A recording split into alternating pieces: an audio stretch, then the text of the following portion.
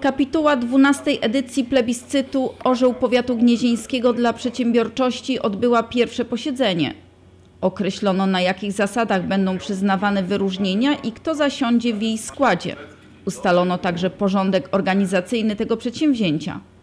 Pierwsze posiedzenie rzeczywiście dzisiaj inaugurujemy 12. edycję konkursu Orzeł Powiatu Gnieźnieńskiego dla Przedsiębiorczości.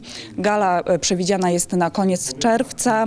Teraz będzie ten czas e, powołania dzisiaj członków kapituły, a następnie e, nominacje firm, zgłaszanie firm do konkursu. Mamy 8 kategorii konkursowych. Ka- Kategorie są niezmienne od kilku edycji, także do tej pory do, w tych 11 e, edycjach mieliśmy ponad 160 firm, w tym 200, ponad 200 firm zostało nagrodzonych, 157 otrzymało tytuł Orła Powiatu Gnieźnieńskiego dla Przedsiębiorczości, natomiast 18 firm zostało wyróżnionych tą prestiżową nagrodą, czyli Złotym Orłem Powiatu Gnieźnieńskiego dla Przedsiębiorczości.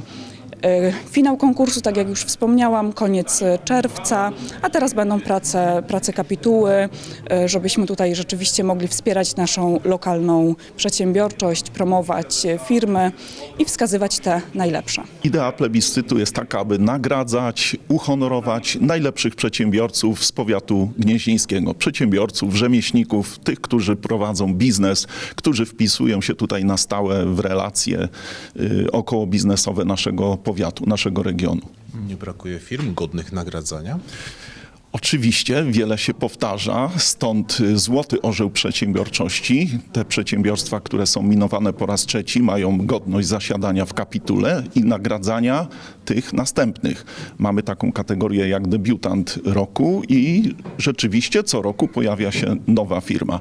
Ostatni czas nie był sprzyjający dla przedsiębiorców, dla rzemieślników, ale z nadzieją wpatrzymy w te następne lata, że przedsiębiorczość, rzemiosło będzie nadal doceniana, bo w końcu my tworzymy miejsca pracy, my płacimy podatki i my przede wszystkim y, oferujemy tutaj y, usługi, z których korzystają nasi mieszkańcy. A czym konkretnie się trzeba wykazać, żeby kapituła y, taką firmę dostrzegła?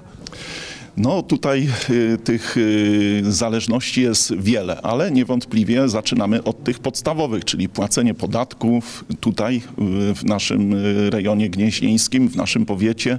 Musimy mieć wszystkie dobre relacje z naszymi pracownikami, czyli sprawy ZUS-owskie, sprawy ubezpieczeniowe. To wszystko musi być dopięte na, naj, na najwyższym poziom. No ale oprócz tego musimy, dany kandydat musi się wykazać jeszcze czymś ekstra i to będzie tutaj najbardziej promowane. W kapitule zasiądzie 17 osób, w tym przedstawiciele Starostwa Powiatowego, cechu i wcześniej nagrodzonych przedsiębiorców.